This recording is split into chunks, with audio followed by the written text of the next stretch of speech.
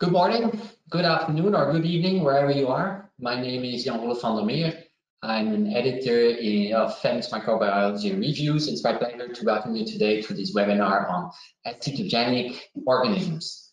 Uh, FEMS, as you may know, is the Federation of European Microbiological Societies uh, that invest in science using the income from our journals to fund charitable activities and support the community. We provide grants as well to scientists to organize and support conferences and sponsor a wide range of events such as this webinar series today. The FEMS webinars provide a forum for the presentation and discussion of key research, enabling the flow of ideas to continue despite the current cancellation of in-person events and conferences. The series has been ongoing since June 2020 if you missed any of the previous sessions, you can uh, watch the recordings on the FEMS YouTube channel. So it's my pleasure to introduce both speakers of today. We have Volker Müller, who is a professor in uh, at the Department of Molecular Bio Microbiology and Bioenergetics at the Institute of Molecular Biosciences from the Johann Wolfgang Goethe University in Frankfurt. His specialty is metabolism and biochemistry of anaerobic microorganisms, their metabolic engineering, halophilic organisms, and bioprocess engineer. Then there is Ahsan Islam. He is an assistant professor lecturer in biochemical engineering in the Department of Chemical Engineering at Loughborough University in Leicestershire in the UK. And his specialty is biochemical, bioprocess engineering, metabolic engineering, systems biology, and synthetic biology. So by accident, those two gentlemen will find themselves uh, today on this webinar because they both approached FEMS microbiology reviews with uh, reviews on acetogenic organisms. And these two uh, reviews, they center on the problem of replacing bulk chemicals from petroleum sources to uh, different sources. And one of the uh, organisms or group of organisms that may be interesting for this are acetogenic microbes. Um, that could potentially also help to reduce the emission of greenhouse gases if we manage to actually change the petroleum-based economy to something that is a more plant-based bioeconomy. And with the metabolites that are produced by these organisms, we can potentially create a new chemistry and particularly interesting is also the group of acetogenic bacteria because they can use mixtures of carbon uh, dioxide, carbon monoxide, and hydrogen for the production of acetate and ethanol. So the two webinars that we will hear today will focus on the one hand on the interesting and fascinating biochemistry and bioprocess engineering perspectives of acetogenic microorganisms, and on the other hand, on the potential by synthetic biology and genetic manipulation to improve such strains for bioprocess technology. Uh, the webinar uh, will proceed as follows. We have both speakers, first Volker Müller, then uh, Ahsan Islam, uh, each for about 20 minutes. And after we've heard from the two speakers, we'll open the floor for discussions. You can submit your questions to the, um, the online tool where I will see them and then I can pick from those questions and ask the gentleman to reply to them and discuss this. So you can pose your questions anytime during the session. They will appear in the question window that I can see and from there I can pose them then afterwards to both speakers. I hope you will enjoy both seminars. It is my pleasure now to give the floor to Volker Müller. Please, Volker. Thank you very much, Jan, for this uh, very nice introduction into the topic and the introduction of the speakers. Uh, it's my, my great pleasure to give you a summary of the uh, recent paper uh, published uh, by Florian Kremp, my PhD student, and myself in FEMS Microbiological Reviews on methanol and methyl group conversion and acetogens, biochemistry, physiology, and application. As you can imagine, in a 15 to 20 minutes talk, one can only highlight some glimpses of the review, and you are uh, invited to check out the review for further details. So the acetogenic bacteria are characterized by a specific pathway, the Wood-Jungner pathway of CO2 fixation, which is a two-branched linear pathway which two molecules of CO2 are converted to one molecule of acetyl-CoA. In the methyl branch of the pathway, CO2 is uh, first reduced to formic acid and formic acid is then bound in an ATP-dependent reaction to the cofactor tetrahydrofolic acid, a common C1 carrier in uh, eu and uh, prokaryotes. The formyl group is bound to tetrahydrofolic acid, and then you can see the intermediates here. It's subsequently water is split off, and then it is reduced via the methanol, the methylene to the methyl intermediate. So at the end of this reaction sequence of reduction, a methyl group is produced from the CO2. Then there's one more reaction to prepare the methyl group for condensation, which is the transfer of the methyl group to another protein, the coronoid iron sulfur protein. In the um, carboxyl branch, the second molecule of CO2 is reduced to carbon monoxide, which is enzyme bound. And on the enzyme acetyl-CoA synthase CO dehydrogenase, the structure of which is shown here on the right-hand side, the two moieties CO and the methyl group and CoA are condensed to acetyl-CoA. The next step then is the production of acetyl phosphate by phosphotransacetylase, and then the last step, the production of acetate and ATP. So this pathway is used by acetogens, but also by methanogens and sulfate reducers. And acetogens can also grow by using this pathway and by using reduction of CO2 with hydrogen. So acetogens are autotrophic and they convert hydrogen and CO2 to acetate. And this goes along with a free energy change of only 95 kilojoule per mole of an acetate. So how much is that? Uh, to make an ATP, standard textbook knowledge in biochemistry is um, 60 kilojoules. So that is enough for roughly 1.5 ATP per mole of an acetate. So this is not very much if you compare that, for example, to the aerobic respiration that our mitochondria perform. And now if you go into the anaerobic ecosystems where these bugs live in, there's not a lot of hydrogen. There's not one molar of hydrogen around. So these concentrations have been measured to be around micromolar range. And then the delta G is only minus 20 kilojoule per mole of an acetate. And this is at the so-called thermodynamic edge of life. And this gives only 0.3 mole of ATP per mole of acetate. And our group was interested in the last uh, uh, decades, one can say, how this pathway is coupled to the synthesis of ATP. And I'm here depicting the Wood-Ljungdahl pathway again on the right-hand side. And now we have here a cell surrounding the Wood-Ljungdahl pathway. And now you see that one ATP is generated in the acetate kinase, but one ATP is um, hydrolyzed uh, here in the formate activation step. So the overall ATP gain is zero. So the big question was for decades, how is this pathway coupled to the synthesis of ATP? And it must be coupled to the synthesis of ATP because these bugs grow on it. Electron comes from hydrogen, and these bugs have a hydrogenase that is electron bifurcating, means that electrons are split, split. One electron goes up energetically downhill, in this case to NAD, and this energy is used to pump up the other electron uphill to ferredoxin. If you now look at the uh, electron sources, hydrogen in this reaction, the first reaction, NAD here, NAD here, and ferredoxin here, there's a misbalance. There is more ferredoxin than NAD, and therefore these cells need a redox balancing system, and this redox balancing system is membrane bound. Actually, it's a membrane bound ion translocating um, enzyme. It's called in acetobacterium woody RNF, but there is another one in other acetogens, which is an energy converting hydrogenase. So both systems use reduced ferredoxin, and the electron is transferred to NAD in the case of RNF, or to a proton in the case of um, the ECH complex. And this little energy between these two pairs is used to pump out sodium, thus creating a potential. And this ion potential is then used to drive the synthesis of ATP. I would say that this system is essential, of course, to make ATP during autotrophic growth, but is also equally important and essential for redox balancing.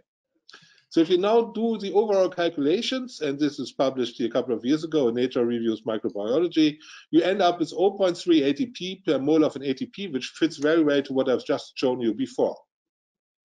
So let's have a look again at the pathway. The pathway from CO2 and CO2 to acetyl-CoA. This pathway is very well suited for the conversion of other C1 components. Another C1 component is carbon monoxide. Some of them, not all, some of the acetogens grow on carbon monoxide, some of them grow on carbon monoxide and CO2 and hydrogen together. This mixture is called synthesis gas or syngas, and that is used in industry at the moment uh, on an industrial level for the production of uh, ethanol. Another compound which is highly interesting for applications is formic acid, formate, which goes into the pathway at the level of formate, as I described before. Formaldehyde can be used by resting cells, but it's highly toxic, so it's not a real good growth substrate. But a real good growth substrate is methanol. Methanol is used by a couple of uh, acetogens, and you see here the uh, examples. It goes from acetobacterium to clostridium to eubacterium, and here you see the old Morella thermoacetica discovered by my good old friend uh, Stephen Daniel in 1980 that it grows on methanol. You see Sporomusa and you see thermoacetogenium pheo. So there's a couple of acetogens that grow very well on methanol. So what is required for an acetogen to grow on methanol? It is required to transfer the methyl group into the central pathway. The final acceptor is THF, and the donor in this case is methanol. For the conversion of the methyl group into the central pathway, three proteins are required. First, methyltransferase 1 that abstracts the methyl group from methanol and transfers to the second protein, which is a coronoid protein. And the cobalt atom in the coronoid protein, that is methylated, giving rise to methylcoronoid 3. And now the third protein, which is called MT2, methyltransferase 2, demethylates the methylcoronoid 3 to give rise to methyl tetrahydrofolic acid.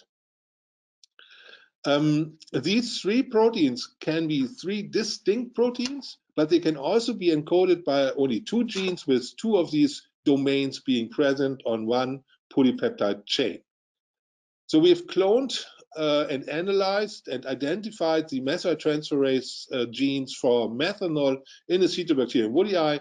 You can see those here, MT1, COP, MT2. And then there's another couple of genes which are related to regulation and which are related to assembly, storage, transfer of the uh, cobalt atom and the coronoid. And this gene cluster is highly uh, conserved among different acetogens. So if you now take methyltransferase 1 as a query and check how many of these methyltransferases are actually present in different acetogens, you will end up with a surprise. And the surprise is shown here for our pet Acetobacterium woolii. In yellow is MT1, and you see there's many MT1 enzymes, genes, that have no MT2 or COP counterpart. There's a number of um, solo MT1 enzymes encoded in the genome, meaning that there's a number of MT1 enzymes that share common MT2 COP protein systems. And this means there's a treasure for hidden growth substrates. Only a few substrates have been identified for these uh, different uh, methyltransferases. So what could be the substrates of these methyltransferases? So far, I discussed methanol. Uh, a possible substrate is methyl sulfide, and this has been shown by Theo Hansen's group long time ago that methyl sulfides can be used as methyl group donor. Um, N-methyl groups, for example, coming from glycine betaine. Our pet Acetobacterium woolii grows on glycine betaine. And interestingly enough, it only takes, uh, there's, there's part of the glycine betaine actually missing over here, sorry, uh, but it only actually only takes uh, uh one methyl group and not the second and not the third. So it demethylates glycine betaine to demethyl glycine. And there's more of these N-methyl groups found in nature. And the biggest group that donates methyl groups from acetogens are these aromatic compounds that derive from lignin, and from pectin degradation, as shown years ago by Bernhard Schink and uh. And uh, two representatives are shown here, tri-methoxybenzoate, which has methoxy groups, and ferulate, which has a methoxy group here. So the very high number of different MT1 enzymes in Acetobacterium woolii implies that methyl groups are most likely the most preferred substrate for this, at least this acetogen in nature.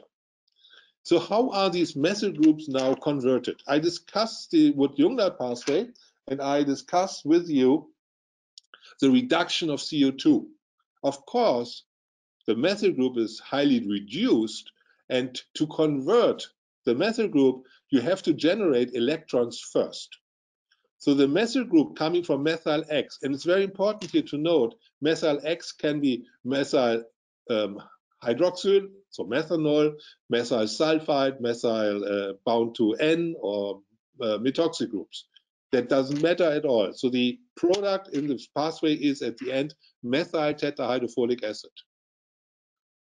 Methyl acid is now oxidized by the same pathway that I described before in the reductive direction. Here it goes in the oxidative direction, generating hydrogen, NADH, and NADH. And these electrons now have to be disposed.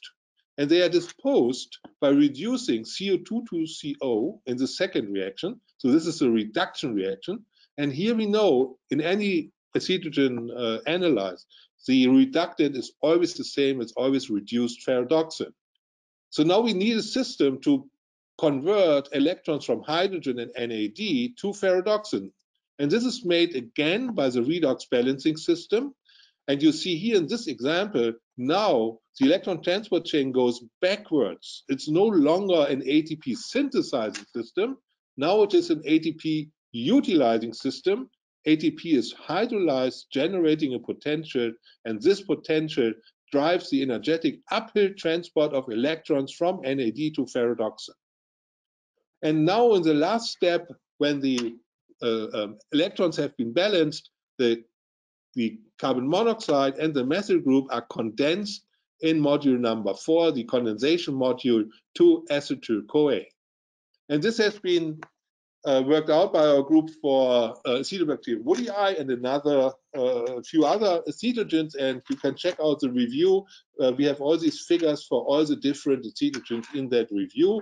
And at the end, you can, of course, calculate the amount of ATP produced. And you see here for woodii, it's 0.83 ATP per mole of an acetate compared to 0.3 when they grow on H2CO2. So methanol is energetically clearly preferred over H2 and CO2. And now I would like to play around with you a little bit. I've discussed the energetics, the modules, and now I will show you that methanol metabolism is highly fascinating. That's one of the most fascinating metabolism that acetogens have because you can play Lego with the oxidation module, with the reduction module, and can combine and delete and create new pathways. First, if you only take the oxidation module and then produce from all the electrons that are generated any uh, uh, hydrogen, then the hydrogen is released in the ecosystem. And this is thermodynamically unfavorable and only works if the hydrogen concentration is rather low. And this can be achieved by co-cultivating acetogens on methanol with a hydrogen-consuming partner for example, a methanogen, like Methanospirillum hungartii, as shown by Cord and Olivier, but also others, again, uh, with methanol shown by Theo Hansen and others. So this is um, uh, known for a long time that these bugs can grow non-acetogenically. They do not produce acetate anymore, but they produce hydrogen, and the hydrogen is used by the um, uh, partner. So another interesting thing is to exchange the reduction module. So you take the oxidation module, and now we no longer reduce CO2. So these cells are no longer CO2 reducing, but they can reduce, for example, this stuff here, which is called caffeate, that also comes from lignin, uh, from pectin degradation and uh, lignin degradation. And what you see here is it has a double bond. So if you close both eyes and open one slowly, slowly, slowly, looks a little bit like fumarate. And what these cells do is they reduce this double bond to then hydrocaffeate, and that's all they can do. They cannot eat the stuff, they can just reduce it and take caffeate as electron acceptor. Therefore, uh, we and others, Bach and Pfennig, were the first to describe this, and we discovered the type of uh, respiration mechanism. So this is called caffeate respiration. And now it goes further.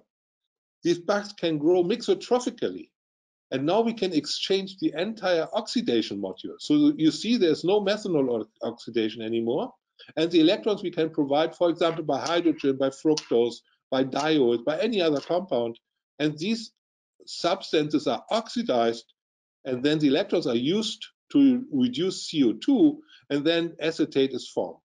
So here, no oxidation module anymore, no methanol oxidation anymore, and you can go again one step further and delete the entire oxidation as well as reduction module, and then you have a situation like this, methanol and carbon monoxide. Actually, these bugs perform acetogenesis, from methanol and carbon monoxide, and you see there's no longer any redox reaction involved. There's no electron transport chain, but there's a very high ATP yield. Uh, this ATP by substrate level phosphorylation here, uh, while acetate is formed. So this is the fascinating aspect on the physiology of uh, acetogens. You can play around with different modules and you can create, let's say, new pathways by creating new modules. And this is what is, makes acetogens so interesting for biotechnology. And as you've heard in the introduction by Professor Van der Meer, these bugs are already used in industry. Professor Islam will talk about that more in the next talk. And they are used to um, uh, use hydrogen CO2 and carbon monoxide syngas to produce lactate, acetate, bioplastics at the beginning, isoprene. There's one um, publication or 3-hydroxypropionic acid. The problem in industry when you grow these cells on these gases is gas fermentation, a low solubility of these gases um, and very bad mass transfer into the system. This could be improved by using methanol or formate. And actually, methanol and formate can be produced easily by chemical means from, for example, synthesis gas. So methanol and formate as well are very promising alternatives for the industrial uh, usage of acetogens uh, while avoiding gas fermentation. I discussed the upper part. The upper part is essential to know if you want to do um, biotechnology. I told you that the ATP yield has a maximum of 1.7 and if you use methanol only, it has only 0.8 ATP per mole of, uh, per mole of uh, methanol. So if you want to produce a compound like isoprene, which requires uh, 6 ATP, there's no way to get isoprene as a pure compound at the end of the day.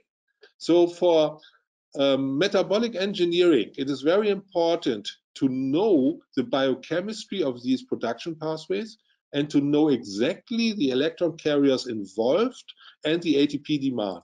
And this is what we have outlined in our review for different uh, acetogens. For example, here is Urobacterium limosum, but we also have Acetobacterium woodii, we have Clostridium dallii, and others in our um, um, review. And then we, we have uh, methanol as a substrate, and then we outline the biosynthesis of different biotechnological interesting compounds from methanol. And just as an example, here is butyrate butanol formation from methanol by eubacterium. And I'm not going into detail because there's uh, not uh, enough time to do that. Um, check this out in our review. Florian Kremp did wonderful figures on all these metabolic schemes, easy to follow, easy to calculate.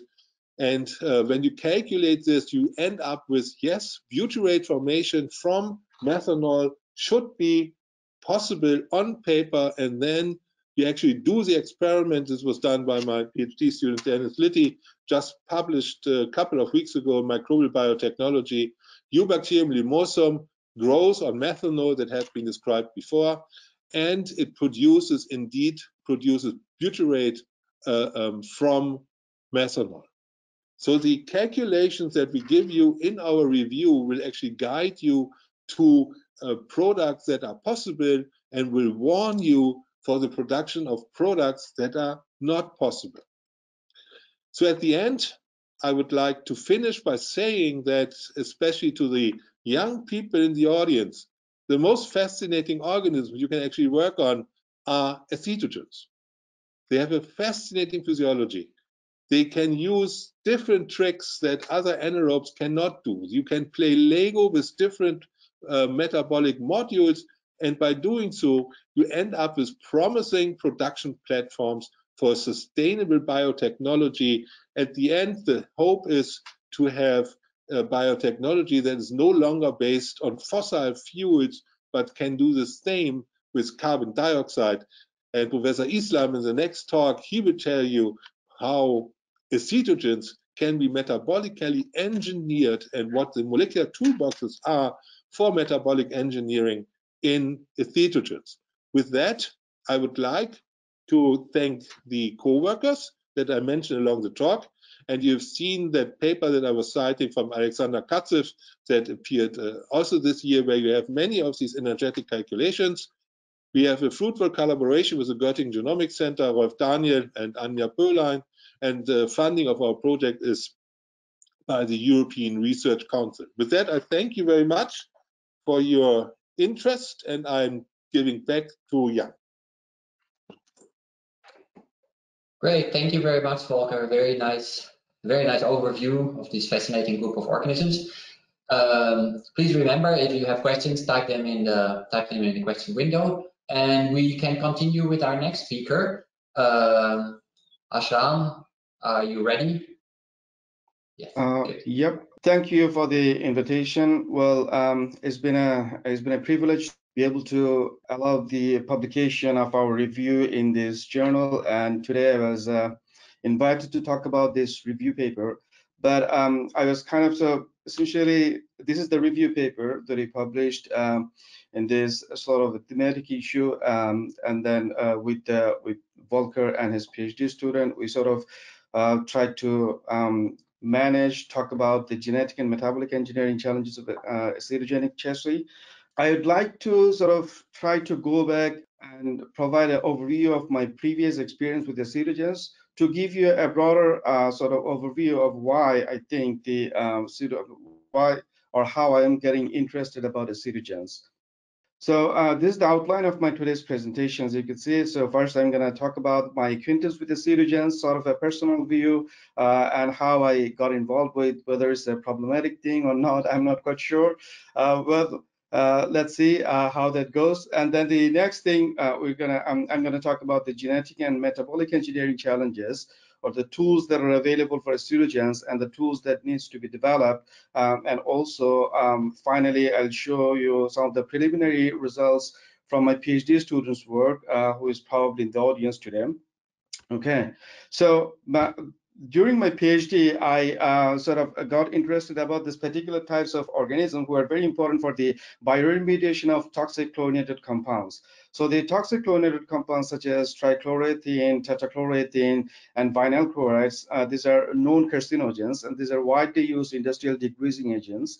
And when they're uh, thrown out in the environment, they sort of uh, ended up in the subsurface uh, groundwater contaminants, and they remain there very for a very long time. So if you um, sort of leave a glass of chlorinated compounds uh, on your table and come back 100 years later, it remains pretty much like the same. Uh, so it's a very stable compound. Fortunately, these microorganisms, uh, these bacteria, the Helicocodis nakatiae, um, they can degrade these compounds and produce benign compounds, benign ethene. So the way they do is the following. So it's, it's kind of like a chemical process you can think of that you feed them these toxic chlorinated pollutants and they eat that up and produce these benign or less toxic products okay so how do they do this kind of thing? Well, the enzymes that are important and uh, catalyzing this particular reaction is called reductive dehalogenases. And those enzymes are essentially, you know, degrading this uh, uh, sort of, uh, you know, step-by-step uh, reductive uh, reduction reaction, and then dechlorinate those higher chlorinated compounds into ethene. and in other cases like higher aromatic compounds into lower aromatic compounds. And then there are other organisms which can take up these lower aromatic compounds and then convert them into uh, benign compounds like benign ethene. So now as you can see that those organisms, the helicocoides, although they are kind of like the main players, uh, they cannot do this work by themselves. Uh, usually they work in a community and a declinating community involves methanogens and acetogens. And as you could see, the acetogens play a very big role in uh, this declinating community where this dihelicocoides and a green geobacter. So basically these are declinators that they sort of degrade uh, these chlorinated compounds. So in the uh, sort of uh, the microbial community, we uh, usually feed the methanol and then trichloroethene and then essentially you could see that the acetogens and also the methanogens, so the acetogens, they're converting methanol into hydrogen, uh, which uh, nicely, uh, Volker nicely mentioned about, you know, the conversion of methanol and, uh, and their production uh, by the acetogens. And sort of the, uh, they also produce acetate. Now, this acetate are also being used by the dihelicocoides as the carbon source and then hydrogen as the energy source. So acetogens are uh, very central uh, to these organisms. And the other important thing is that these dihelicocoides bacteria, when they're degrading or they're reductive dehalogenase enzymes by which they degrade these toxic compounds, those enzymes require chorionoid cofactors or the cobalamin cofactors, which are obviously uh, they cannot produce themselves and they need help from acetogens. So acetogens are a very big player uh, in this declinating community, and that's how I got involved with this um, metabolism and their understanding.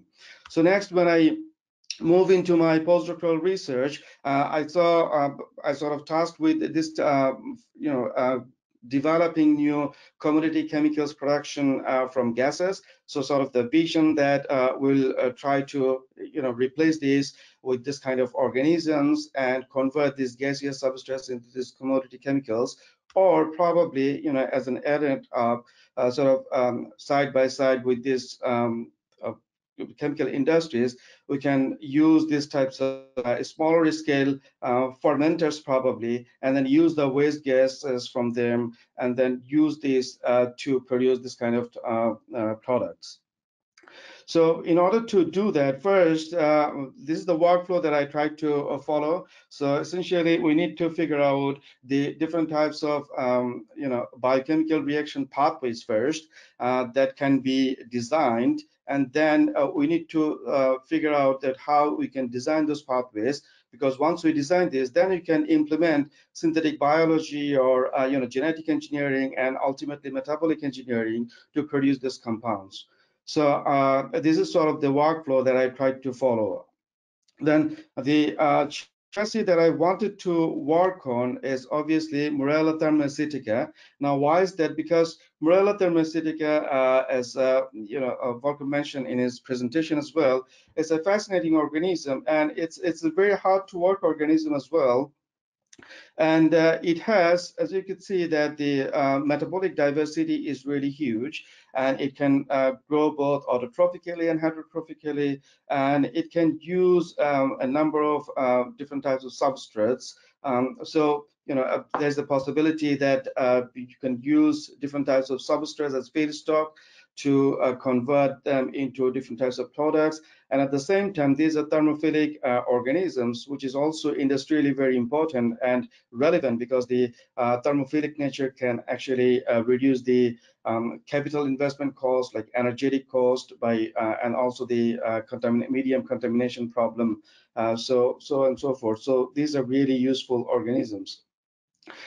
So in order to understand more about the Morella thermoacetica, I developed a genome scale uh, sort of the metabolic model in details where uh, this is shown here. And uh, so uh, when I was building this model, at that point, Volker's paper uh, about this um, different understanding of the biochemistry and bio, uh, different, uh, you know, the detailed explanation of those biochemical pathways in the Wood-Lindahl pathways and their energetics.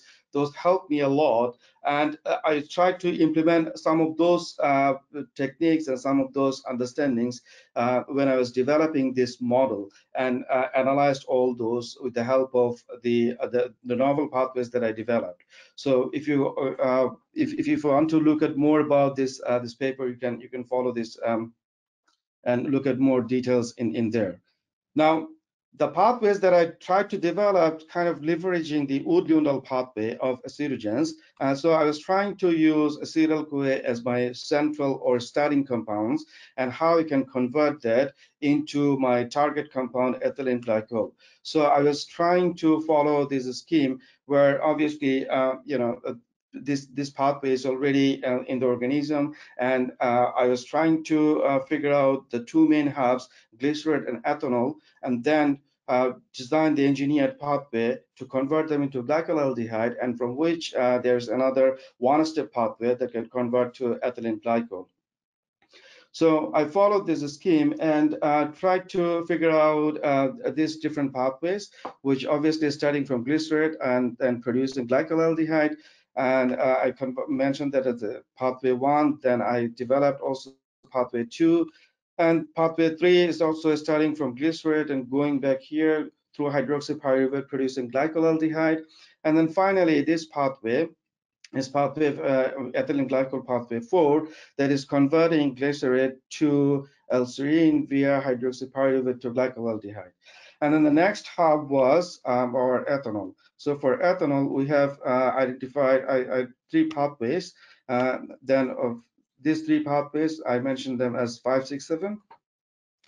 And after identifying these pathways, then the next step was I was uh, inserting those pathways into the Morella metabolic model and also this Clostridium lundale metabolic model. These two metabolic model I was trying to identify to sort of uh, get a sense of which chassis um, can give better yield, molar yield uh, in terms of the pathways. So I was analyzing all those design pathways, the novel design pathways, as well as the pathways uh, that has been published and implemented in E. coli. So I was trying to uh, sort of take those pathways and insert them into uh, into Morella as well as in uh, Clostridium lundale and identified their molar yield. And as you could see from this figure that um, for the uh, molar yield on pathways on the CO carbon monoxide, um, the Morella thermoacetica is showing uh, better results. Then similarly, I was trying to analyze their uh, molar yield on CO2 and hydrogen, and that also shows that uh, you know somewhat similar. Morella is mostly the uh, you know better choice compared to the uh, Clostridium lundale. So that sort of interested me uh, when I started my uh, independent position here at Loughborough University to sort of um, invest time and energy uh, to, you know, um, engineer the this pathways into Morella. And then there comes my uh, PhD student, Barbara Bourget, uh, who is a, a really very um, industrious and hardworking PhD student. And I was looking for someone who can actually, you know, um, sort of hammering down these uh, ideas in, and inserting these, uh, um, you know, pathways into Morella. However, when we start working with Morella, we sort of hit the uh, a huge uh, wall, uh, sort of a brick wall, and we are trying to figure out how can what technique or what should be the main bottlenecks, and how can we approach those different types of bottlenecks.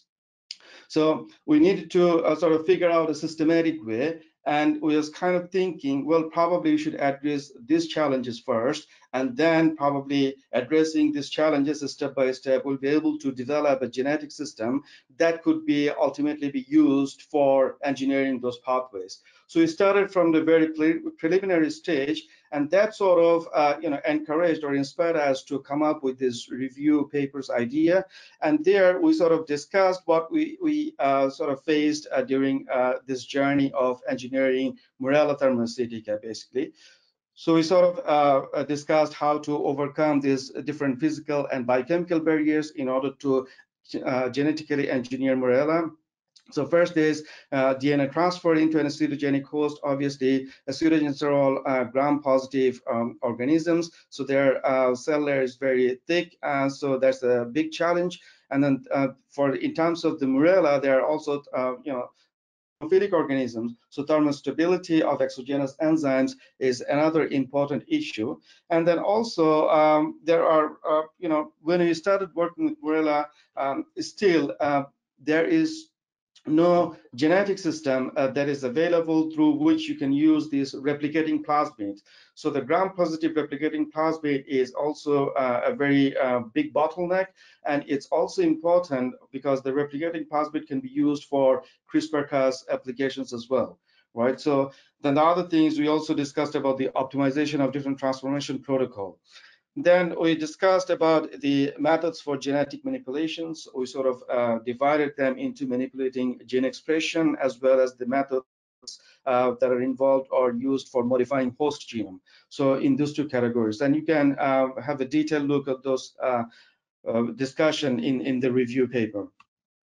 So these are the sort of the figures that we presented in the reviews and said that, well, you know, the, what are the main barriers, as I just mentioned, alluded to you, that the, the gram-positive barrier and the thermophilic requirements, as well as the, uh, you know, the requirement of a replicating plasmid. And another very important thing that we discussed is this uh, plasmid methylation, which is to evade or sort of, uh, you know, um, uh, dupe the uh, restriction modification systems of these organisms, which is uh, really a big problem, uh, you know, in order to engineer the acetogens. And then obviously we need to uh, we discuss the different transformation, uh, the different parameters that that are need to be um, you know that are required to be optimized in order to get a good transformation efficiency. So then uh, again here uh, we discussed uh, different genetic manipulation tools uh, that could be used for you know uh, changing or manipulating gene expression levels. So we discussed the promoters and RNA-based regulations and also discussed about the ribosome binding sites. How can you uh, modify those and what are the tools that have been applied and that are available um, in, in, in the review paper. So uh, then finally, we also discussed about the, how can, uh, you know, what are the tools that could be used to achieve the genetic modification in Morella. Uh, some of the newer tools uh, that, uh, for example, uh, the obviously the CRISPR-Cas is really widely available for different organisms. However, for uh, in terms of, in particular, Morella thermoacidica, it is not yet developed and then we sort of discussed what are the uh, challenges associated in developing uh, such tools for thermophilic organisms and what are the useful or sort of successful applications in terms of application of uh, CRISPR-Cas9 in Morella.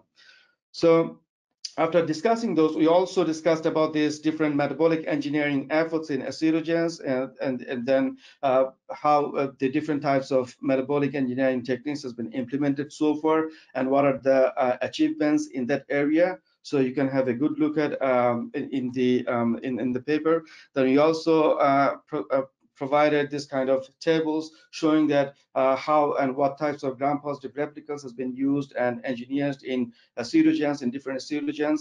And we also discussed, uh, you know, the genetic tools that are available for the acetogens. We provided uh, details um, the, of the different types of tools that have been implemented in acetogens, as well as, uh, you know, uh, that could be uh, potentially implemented. And finally, we also showed that uh, the metabolic engineering studies that have been implemented uh, in different pseudogens Uh, for example, as you could see here, that the ethanol production has been implemented in Morella thermoacidica and also lactate production in Morella thermoacidica, right? Um, so now finally, I'd like to share a few slides for the Morella thermoacidica shuttle vector that we uh, tried to develop in, uh, in my lab, and then um, the Barbara uh, in, invested quite a, a, huge amount of time. So we sort of tried to um, engineer gram-positive replicant from Thermotoga petrofila, and then also uh, inserted thermostable kanamycin resistance genes. And this is sort of the uh, figure that shows this uh, PMTL PMTL KTP shuttle vector uh, that we developed. So that includes the uh, Thermotoga petrofila, this gram-positive replicon over here. And then this is the Morella thermostatic promoter. This is the thermostable kanamycin resistance gene. And there's a gram-negative replicon is also provided here so that uh, you know you can insert both the uh, methyl transferase genes as well as the uh, your gene of interest in the same plasmid so that you can first methylate using an E. coli methylation strain uh, and then uh, insert this methylated plasmid into the Morella chassis. Okay, so these are the sort of we use that particular PMTL uh, vector to express both the Morella thermocytica native ALDH gene uh, and also uh, Clostridium autoethanogenum um, ADH gene. And these genes, we express those because Morella thermocytica cannot produce natively ethanol. We're just trying to see if the promoters that we have developed is actually functional. And we have seen ethanol production. And interestingly, we have seen that when the culture is static, uh, it produced less ethanol compared to the agitated culture, which probably kind of shows that uh, that the the um, gas diffusion is really more efficient in the agitated culture or could be uh, uh, another thing.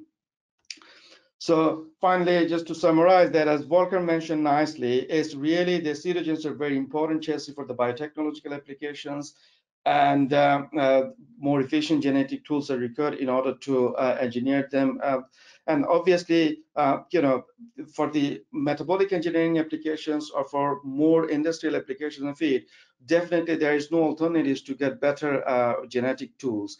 Uh, so we sort of uh, uh, it started our journey towards that direction uh, by creating a replicating plasmid-enabled genetic system for the Morella, uh, but more optimization of the developed system is required.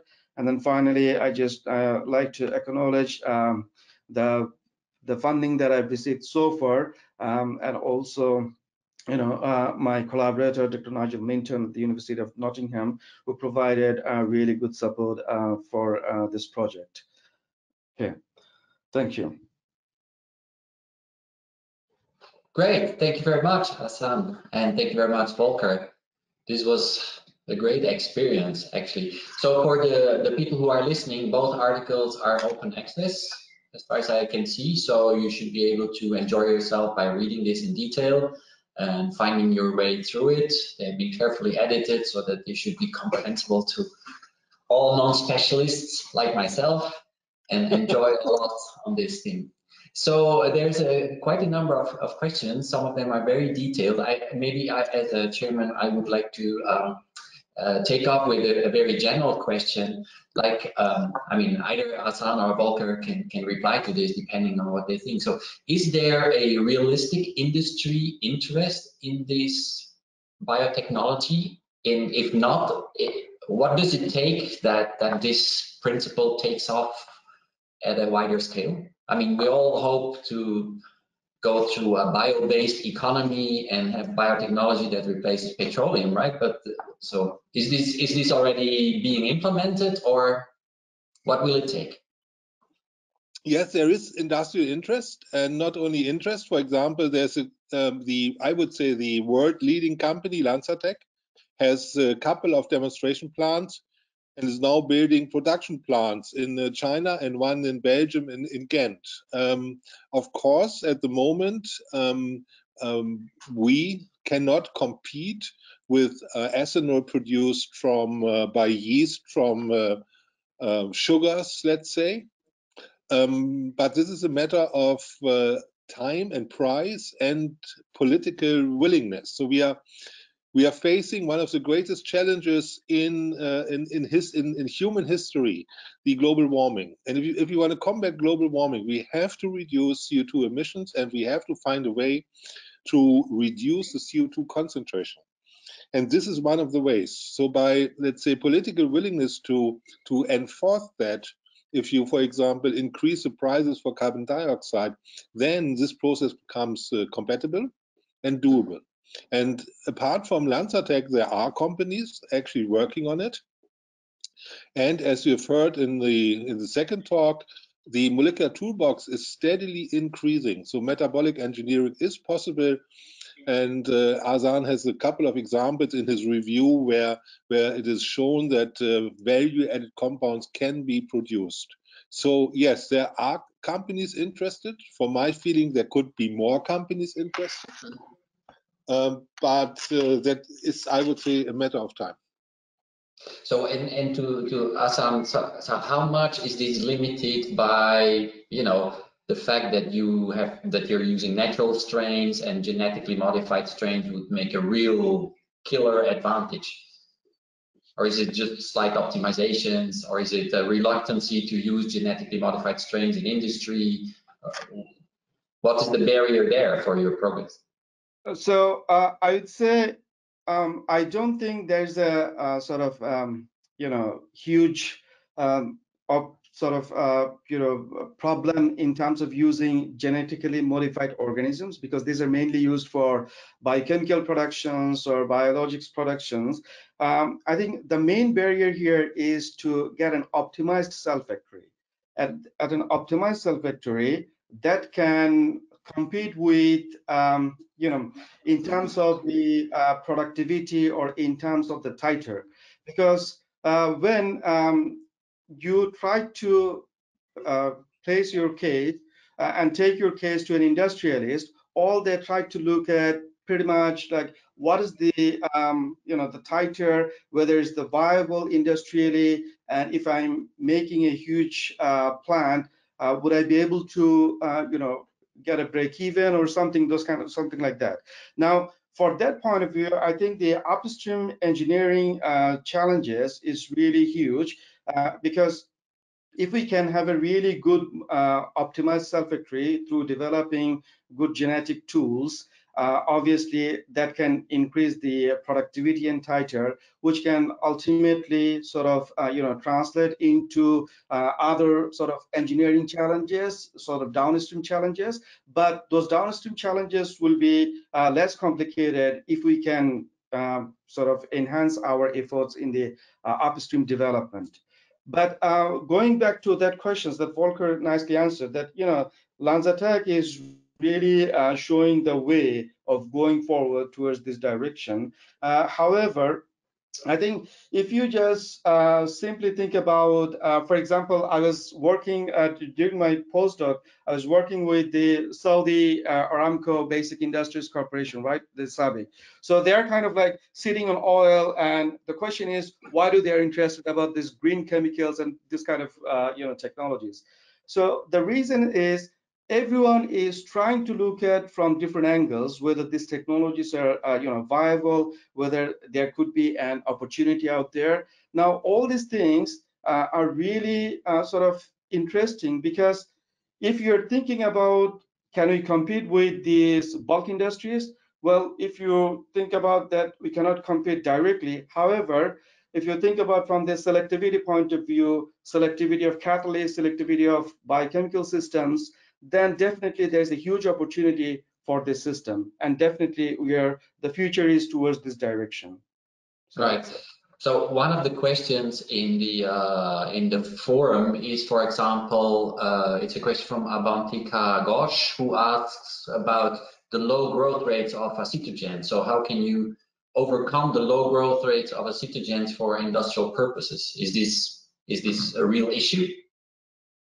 This is a real issue. Of course, this is a real issue. However, uh, what we could try to do, uh, we are, uh, you know, obviously trying to achieve uh, different metabolic engineering techniques by providing different types of, uh, you know, substrates and different uh, changing the media composition and this and that. However, now there are some uh, inherent limitations, some thermodynamic limitations, which we cannot overcome, definitely. But if we are trying to implement sort of the different uh, strategy, for example, one strategy is the mixotrophy. If we can implement both mixotrophy, how can we sort of try to use both glucose substrates as well as the uh, gaseous substrates, combine them together, activating both the autotrophic and heterotrophic metabolism, combine them and enhance their uh, growth rate. Well, uh, these techniques have been um, sort of explored and also, uh, as I said, it's working with anaerobes uh, takes patience and that's one of the reasons why at the beginning of my talk I sort of tried to uh, allude towards this point whether it is a good choice or bad choice, whether working with Morella, uh, you know, especially if you're a new faculty, thinking about your tenure and other stuff. But I'm really fascinated about this organism because this is uh, sort of the, the, the, types of organisms uh, because of their embedded Wood-Ljungdahl pathway, the CO2 fixing pathway, which is the uh, thermodynamically the most efficient non-photosynthetic pathway, carbon fixing pathway. So going back to the question, can it be achieved to, um, you know, the enhance the growth rate? Well, it can be achieved. That is sort of bounded by the thermodynamic limit. if we try to compete with E. coli or yeast, well, definitely we are not going there. However, it has other advantages. Yeah, sure, sure. So to get to this industrial side of things in terms of the product output, there's also several questions about that. So first, maybe a question of Stephen Daniel, who asks to Volker, like, okay, if you're going to produce, uh, if you're going to produce something, like what's the maximum concentration of methanol that can be tolerated by uh, by uh, Acidobacter and other acetogens? That is a a question can't be can't be answered that that, that easily. So there is a nice study on uh, methanol adaptation of growth of acetogens to methanol. So you can adapt it over time, and then they would tolerate more. But the tolerance is not, one has to say, not very high. In the unadapted state, for example, in Acetobacterium woodii, we are talking about a couple of hundred millimolar, so not the not molar concentrations. And uh, even in adaptation system, you would not get uh, uh, very high. So, for example, if you compare this to ethanol, at the beginning, um, um, people thought that bacterial ethanol producer maybe may have a higher tolerance compared to yeast, but this turned out not to be true. There's an intrinsic property, and this intrinsic property is determined by the cytoplasmic membrane. So at a certain point, and all these cytoplasmic membranes are in principle organized the same way. The cytoplasmic membrane collapses, and then it's the end of the story. Okay, and there's a there's a, a question also related to production from Anke Neumann who asked like, is ethanol really the preferred product? And what about acetate as an intermediate? And if you would use a second stage fermentation, can you produce other by high volume products? Or is there any thermodynamic feasibility or so or limitation to, to do this? So the first part is ethanol the preferred product? No, it is not. Um, um, um if acetogens want to produce ethanol, they have to have uh, certain enzymes called AOR, and what they do usually is they do produce acetate first, thereby they produce the ATP in the Wood-Jungner pathway that I described, and then they re use reduced ferredoxin to um, reduce acetate back to ethanol. Um, ethanol producing acetogens do have the AOR system. Acetobacterium woodii does not, and it cannot produce ethanol, only acetate. So one way of producing, of making ethanol producers would be to put in the AOR plus an aldehyde uh, dehydrogenase. So ethanol is not the preferred product because cells lose normally, if you would go from acetyl-CoA to acetaldehyde and then to ethanol, cells would lose one ATP. Only if they can use the AOR, then they have the same amount of ATP, let's say, left. But then they need additional reductant. This, the second part of the question was if actually you would use acetate as an intermediate and then use a second stage fermentation to produce high value products. Yes, that, that is a very interesting idea. And um, um, um, companies are interested in the the group of uh, Dr. Leumann, I guess, has uh, um, um, research on it and papers on it. So what you could imagine is a two-step process where, for example, the acetogen produces acetate first, and then you feed this to a yeast. Yeast is uh, pH tolerant, grows at low pHs, and eats the acetate and produces some goodies out of it. If you want to do the same with, let's say, just one uh, group of uh, with the acetogens that that uh, would not work. There's a couple of acetogens that could uh, oxidize acetate, but very poorly. What you could do is experiments, for example, that Lars Angelin is doing very elegantly also a chain elongation. They produce acetate, you feed acetate from the outside, and then they would produce C4, C5, C6. So that, that could be done by feeding acetate to uh, um, Clostridia. So that exact same method that Volker you described, we sort of implemented when I was in uh, Greg Stephanopoulos' group.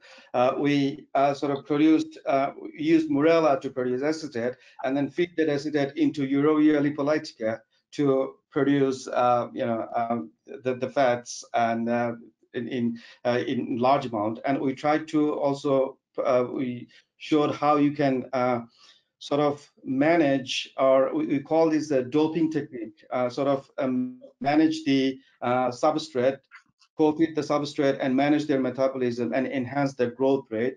Uh, and in that case, we pretty much used uh, wild type acetogens, uh, wild type Morella thermocytica, wild type Eurovia. So just to manage the substrate concentration by feeding, uh, you know, how to change the uh, feed concentration by managing those, we were able to show uh, really nicely that you can have a good uh, high titer and good yield. So that paper we published in um, uh, in Nature Metabolism. Uh, it was in last year. So it's, it's, it's, a nice example showing how you can use uh, acetogens acetate into uh, as an intermediate and then produce high value products in the second yeah. fermentation. There's a, a, comment also here uh, by Michelle Bradley who says that who, who, was a CTO for an industry in the UK, uh, and she's mentioned that the, one of the biggest problems in implementation here is the scale-up costs for the fermentations and the gas fermentation because it requires so much basic financial investment. So yeah, she says great benefits but high risk of failure because of investment challenges yeah, that that's a very useful comment, uh, comment I think. But uh, yeah, maybe. then, then one could think about switching to methanol. So it's, e it's sort of easy to produce methanol from syngas, and then you don't have all these technical problems anymore. Yeah, so you can yeah. use the same bugs uh, to convert methanol that comes from syngas. Yeah. But this is true. This is one of the biggest factors in implementing such a such a system. Yeah. Yeah, actually, as, as a microbiologist, I have a question for, for you as well. So, Volker, if you say that there's so many different possibilities, these Legos that these acetogens can do, is there any evidence that they also do job sharing in a in a population, so that some bacteria, some cells do this and another cell does that, or is that not possible thermodynamically? I mean, it's known for other bacteria that there is job sharing. You know, not everybody is doing the same. Single, some single cells can do more of this, and others do more of that. Is that possible for acetogens? Um, I don't know. Um, there's no studies on that topic. Um, uh, people my age, we are we were trained to work with pure cultures, um, and now the mixed cultures. This is a very hot topic, but there's very little studies, at least that I know, on acetogens. Um, it's still a, it's still a pure culture, eh? but it's just individual cells doing different things. Yeah, yeah. I mean, if you grow a population of bacillus, they will, you know, do different things. Yeah, I know, but uh, I guess here, no, I don't know anybody that has actually looked at that. And I guess okay. for that, I'm not a geneticist, but I would guess for that you need a much better genetic toolbox. You need some sort of uh, fluorescent markers to see differences in cells in one population. But thermodynamically, I, I would not see a problem. No, that, for example, this uh, sharing of hydrogen uh, that could work also with cells of the same species in one population. Right. So would you be ready for some more technical questions on like metabolic pathways, thermodynamics, and so on? Yes, I guess. So there is a question from Chen Zhang who asks, if I interpret collect, uh, correctly, are there cases that formates can be directly converted to NADH rather than through hydrogen? Yes. I'm not sure if that's. So the, the due to the lack of time, I couldn't describe the fascinating variety of biochemistry of acetogens. Acetogens are not a phylogenetic group. You could see this from the different names already. Um, there's 23 described genera at the moment. And the overall principle is the same. It's 2CO2 to 1 acetate, but the enzymes involved and the electron carriers involved are very different. So the enzyme that I was showing that produces hydrogen, we we discovered that and we named this hydrogen dependent CO2 reductase. The classical enzyme would be a formate dehydrogenase. And cells that oxidize formate, they can have formate dehydrogenases coupled to NAD, coupled to NADP, coupled to ferredoxin. Um, they can have um, different cofactors. Formate dehydrogenases that work in the direction of CO2 reduction cannot work with NAD because this is thermodynamically restricted, but they could work with ferredoxin or NADP. And the group of Rolf Thauer, they also described electron bifurcating formate dehydrogenases that work together in contact with hydrogenases in which um, NAD and ferredoxin are used as electron donor. So there's a huge variety of different formate dehydrogenases. Um, the enzyme that was on my slide, the HDCR, that has been found biochemically in two species, in Acetobacterium and in Thermo Anaerobacter kivui, and from the genome in, let's say, around 10, 15, 20 other species, but many, many acetogens have classical formate dehydrogenases. All right, great, thank you. And then there's a, a question to uh, to Ahsan um, from uh, Lucas Pere, who asked uh, if the genome manipulation or engineering that you are intending or that you have done so far already, does it have any stability on the strains in fermentation processes? Now, we haven't been explored that far, to be honest. We still kind of like, as I said, we are still preliminary stages of this development. Uh, and one of the problems with this, uh, uh, you know, the optimization of the development of the genetic tools is to make sure that, you know, the mutant that we are developing or the change that we are trying to impart into the chassis is stable. So those uh, areas we haven't explored yet, uh, but uh, we are still, as you can see, that's our next step. So I cannot answer right now. But uh, that's fair enough. I'm, I'm reading the questions here. Good. And there's a question for uh, Volker from uh, Ari Satanowski. He says, thanks for the fantastic talk, fascinating metabolism. I have wondered for some time why apparently in nature the methyl, uh, methylene, uh, methylene tetrahydrofolate pathway is exclusively converted to acetyl-CoA via methyl tetrahydrofolate and uh, carbon monoxide dehydrogenase. And why is there not a glycine synthase glycine reductase pathway? In, is there thermodynamic reasons for this? This is a very detailed question of a knowledgeable person. Uh, yes, there. So the glycine synthase, glycine reductase pathway is sort of a bypass to the Wood-Ljungdahl pathway. And indeed, there is a, a recent publication from our Korean uh, friends that demonstrated that this pathway does exist in, for example, Clostridium, if I remember correctly, drake. Yes, it does exist. And this pathway has also been elaborated by the group of Alfons Stams in uh, Desulfovibrio species and was postulated by Arren Bar-Even for some acetogens. Yes, this pathway does exist solo, but also in combination with the Wood-Ljungdahl uh, pathway, at least in some. So the, en the enzymes are not present for the glycine synthase or glycine reduction in, for example, Acetobacterium woodii. But some okay. do have that. Great. So there's a few questions that ask uh, about acetogens in environmental conditions.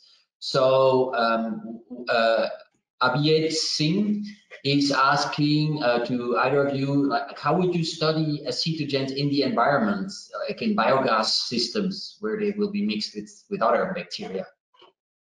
Well, that is a very general question. It's a, it's a question is on how to detect by molecular probe acetogens in a system. That is sort of difficult. People thought about that for a long time, and uh, I guess I'm not a microbial ecologist, I guess, but the molecular probe that people use is on the uh, formyl tetrahydrofolate synthase gene enzyme. With that, people, I guess, think that they can detect the acetogens in environmental um, samples. If you if you want to study acetogenesis in environmental samples by classical techniques, you, you take a microcosm, for example, put in radioactive CO2 and see whether you find radioactive acetate. And by labeling experiment, you do find out whether this acetate is produced by the Wood-Ljungdahl pathway. So you can actually detect this biochemically. And with molecular probes, I'm not sure, but I guess uh, there are ways to do that. Right. Okay. And do they play any other roles in the environment? I mean, their numbers must be reasonably so dependent of, on fermentation. One of the things that I mentioned in my presentation, uh, as you have seen probably, uh, that acetogens, when I was working with this dechlorinating microbial community, they sort of supply the corrinoids or cobalamins because acetogens are kind of like a, uh, they they are kind of like a co factory and they can produce more than 30, 40 different types of co factors. And these are really, uh, these cobalamins are really very important uh, sort of, um, you know, metal ions. And acetogens uh, can play a big role uh, in this kind of, you know, dechlorinating microbial communities. Uh, from my experience, that's what I've noticed. So definitely these communities we sort of studied on uh, we collected these communities from the um, from the contaminated sites in microbial uh, that are contaminated with this uh, TCE, uh, this dechlorinating compound or this chlorinated solvent contaminated sites. And naturally, we have seen that there are acetogens out there. So definitely, uh, uh, acetogens are playing a big role. And obviously, you know, uh, one thing that if, if, if, you think about that uh, sort of their origin, this kind of like a soil bacteria. So definitely, you know, if you think about their origin, then they can play different types of roles in, in, in the microbial ecology as well. Right. Okay. Maybe a last question by Frank Bengelsdorf, who asks to Volker, Thanks for the great talk introducing the LEGO module concept. Today, you haven't talked about the role of electron bifurcating transhydrogenases, NUN. In some acetogens, the respective enzymes are known, and in some, the respective genes have not been found. Could you please speculate if all acetogens would need such an enzyme, or if they could make a living without enzymes such as NAN, or NUN? Um, yes, um, electron bifurcating uh, transhydrogenases are known in the acetogens, well known in the acetogens, and we have currently two classes. One class is the NFN. So what is for the general audience, Dr. Bengelsdorf is an expert in the field. Um, for the general audience, what is a transhydrogenase? The transhydrogenase is an enzyme that interconverts NADP uh, and um, NAD um, with reduced ferredoxin as a mediator, let's say. A transhydrogenase in E. coli is also present, and in E. coli, the transhydrogenase uses the membrane potential to drive the reduction of NADP with NADH as reductant. So that is a reaction that is important, and it is the more important if the Wood-Ljungdahl pathway has an enzyme that is NADP dependent.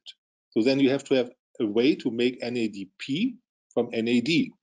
And therefore, um, all the bugs that have NADP-dependent enzyme in the Wood-Ljungdahl pathway have to have a transhydrogenase. And of course, these cells have to make biosynthesis. This is what I always tell my students. If you look at the Wood-Ljungdahl pathway, this is just the pathway to produce ATP when they grow autotrophically. But of course, they have to make biosynthesis of lipids, of DNA, of uh, carbohydrates, of all this kind of stuff. And so therefore, you need NADP. And currently, we know the NFN type transhydrogenase. And then we discovered and published uh, uh, also the first author on that paper, Florian Kremp, uh, published a paper on a novel type of transhydrogenase which we called Sporomusa type uh, transhydrogenase STN. So the answer to that question is yes. Uh, transhydrogenases are required for acetogens. Every acetogen looked at has a transhydrogenase, and the transhydrogenase can be either of the NFN or STN type. Great. I think we will stop here this was a great experience. I thank you very much, Ahsan and, and Volker. This was uh, extremely interesting to listen to. Uh, it's also a very lively field. Uh, I thank the audience for the very lively discussion as well. Uh, it looks like a field that, that is really growing in importance even more. Uh, and I hope that several of your ideas will make it to industry applications so that we can work on, on climate and better chemistry and production and so on. That is all very good for our future in that sense.